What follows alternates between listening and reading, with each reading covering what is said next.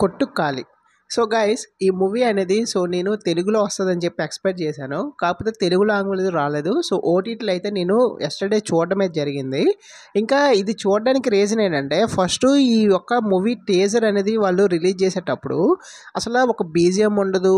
And also ఒక conversations అంటే మాటలేం ఉండవు. జస్ట్ కొంత పర్సన్స్ అనేవారు ఆటో వెల్ ఆటోలో వెళ్తున్నట్టు సైలెంట్గా చూపిస్తారు. బ్యాక్గ్రౌండ్లో ఏదో మనకి డ్రమ్స్ కైండ్ ఆఫ్ ఏదో సౌండ్స్ అయితే వస్తుంటాయి. అంతేని. సో అసలు ఏముండదు. కాన్వర్జేషన్ కూడా అన్నావు. ఇంకా అది చూస్తే నాకు ఒక్కసారిగా ఏంటంటే కొంచెం ఇంట్రెస్ట్ అనిపించింది. ఏంటంటే ఇంత న్యాచురల్గా ఉంది. ఏంట్రా బాబు ఈ మూవీ అని చెప్పి అనుకున్నాను. సో తర్వాత అంటే థియేటర్లో రిలీజ్ అయిన తర్వాత కొంతమంది బాగుందన్నారు కొంతమంది బాగాలేదన్నారు ఈ కైండ్ ఆఫ్ ఏవైతే రివ్యూస్ అయితే వచ్చాయి.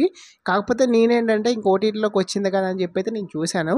ఒకవేళ మీరు ఎవరైనా ఈ కైండ్ ఇప్పుడు ఈ మూవీ అనేది చూడాలనుకుంటే తమిళ్ళో మీరు అంటే ఇది టెలిగ్రామ్లోకి వెళ్ళి అంజకిషన్ అని ఉంటుంది నాకు మెసేజ్ చేయండి. సో మీరు నీకు సెండ్ చేస్తాను. ఇంకా ఈ మూవీ అనేది ఎందుకు చూడాలంటే జస్ట్ చెప్తాను గాయస్ యాక్చువల్లీ ఏంటంటే ఈ మూవీ చూసిన తర్వాత నాకు అనిపించింది ఏంటంటే అంటే మూవీస్ని ఎలా కూడా తీయచ్చా? సో ఎక్కువ ఒక బీజిఎం లేకుండా అండ్ ఎక్కువ కాన్వర్జేషన్స్ డైలాగ్స్ లేకుండా ఫైట్లు సాంగ్స్ కైండ్ ఆఫ్ ఏమీ లేకుండా మీకు ఈ మూవీ అంతా జస్ట్ అంతా చూసుకుంటే ఒక వన్ అండ్ హాఫ్ అవర్ ఉంటుంది అంతేనే. మీకు అంతకంటే పెద్దదేమి ఉండదు. మీకు ఇందులో ఏంటంటే స్టోరీ చిన్నదే. కాకపోతే వాళ్ళు చూపించే విధానం అనేది మనకి ఎంత న్యాచురల్గా ఉంటుందంటే సో మీరు ఏదో మీ పక్కన ఇంట్లో కానీ లేకపోతే మన ఊర్లో జరుగుతున్నట్టయితే మనకు అనిపిస్తుంది.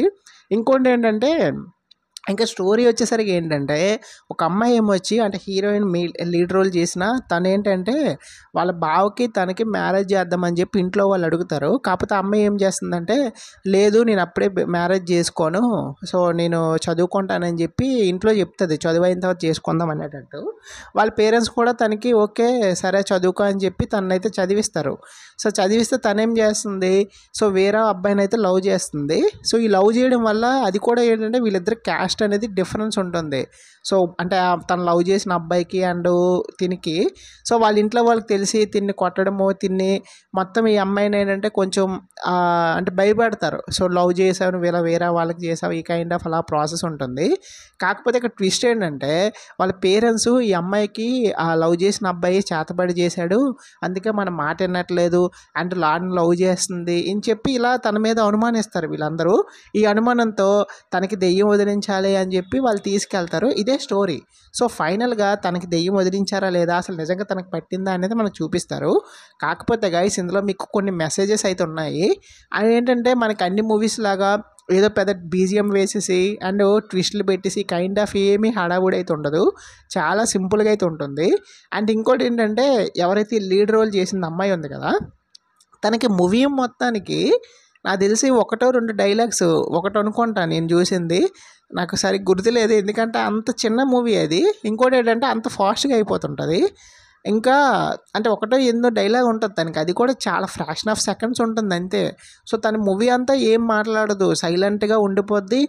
అండ్ ఇంకా అలా ఒక ఏదో అంటే జస్ట్ ఉన్నానంటే ఉన్నాను అన్నట్టు ఇంకా మాట్లాడడం మానేస్తుంది మూవీ అంతను.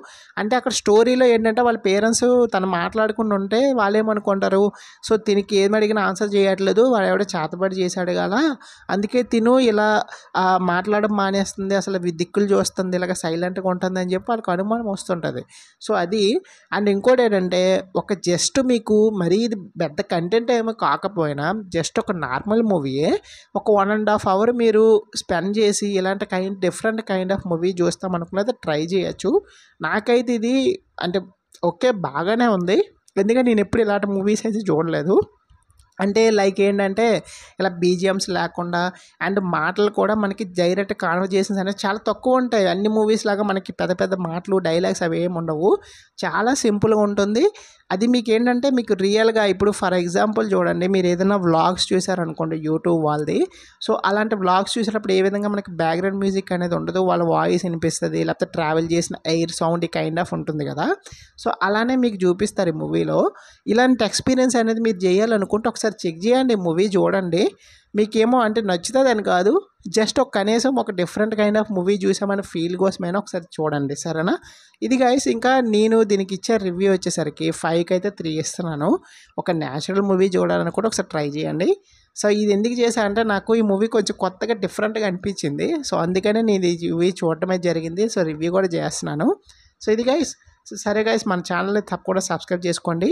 అండ్ పక్కన ఉన్న బెల్ ఐకాన్ యాక్టివేట్ చేసుకోండి. Thank you so much for watching guys